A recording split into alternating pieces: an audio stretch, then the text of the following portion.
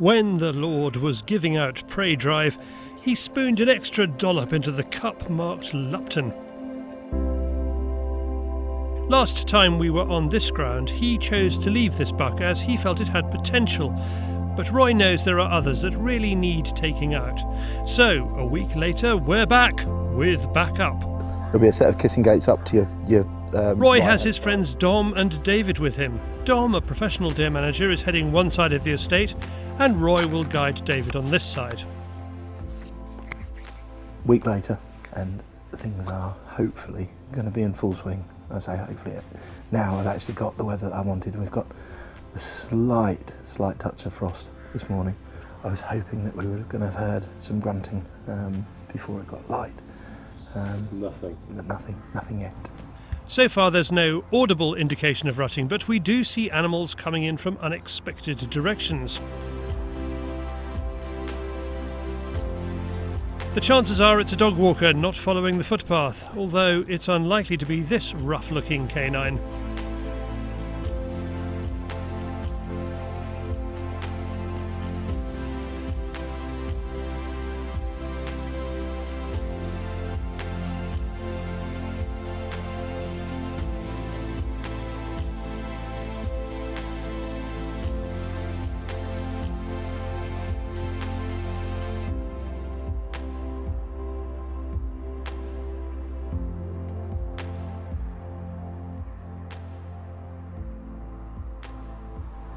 Just had a load of deer come in that I think were disturbed on the other side of the wood.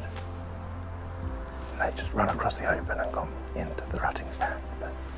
And a lovely little fox, little bobtailed fox coming across there. But we've left them to go into the rutting stand. And again, just stayed very still, so hopefully they weren't too spooked by us. Once again, we try and make our way into the rutting area. Now we can hear them. A doe stands between us and it, so we have to keep still and quiet for 10 minutes before she mooches off.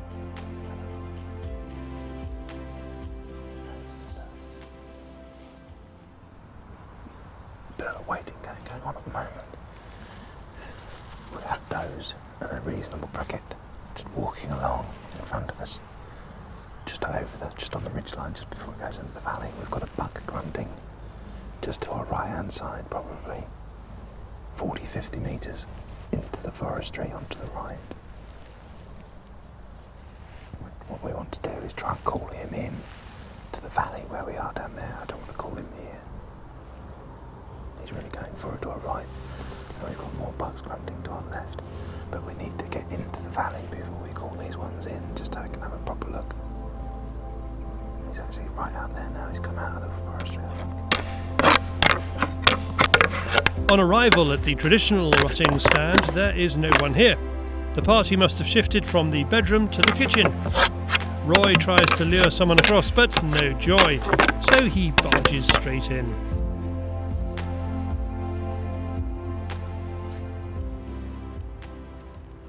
So we've come up to him now. He's just in this block of forestry, just in front of us. And you can hear him in there. He's not far in. It's just whether or not we can stir him and upset him enough to come and have a look. It's tough to see the master buck, but he is there.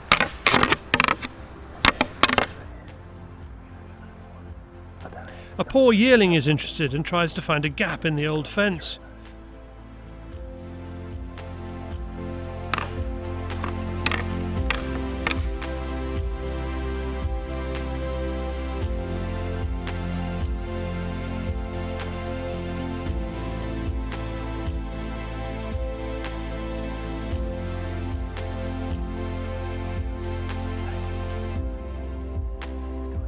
He disappears, only to reappear in front of us.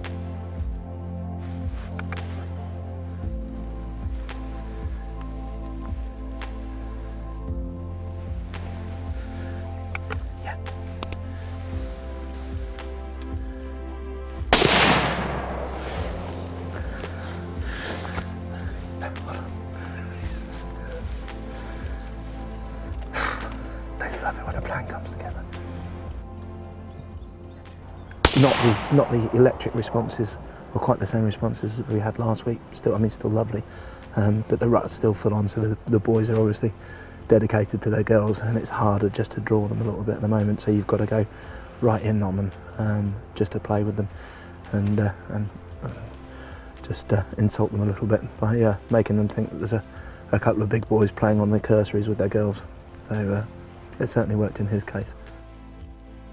A very very poor pricket headwise. Body condition is still okay.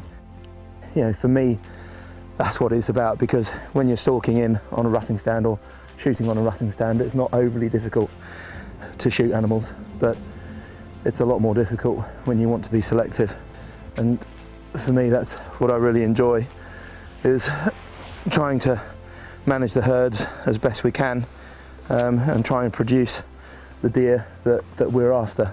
Whether or not you know, our ideals are go in line with anybody else is a, a different thing, but you know, for, for general herd structure um, and for general management of the poorer beasts, then obviously that's what we're trying to do. Although the meat from bucks can be heavily tainted at this time of year with hormones pumping through their systems, this one's not smelly at all, and the meat will be heading into the estate's kitchens. So the stars align, the gods are appeased, and Roy gets his rut buck, bringing order where there is chaos.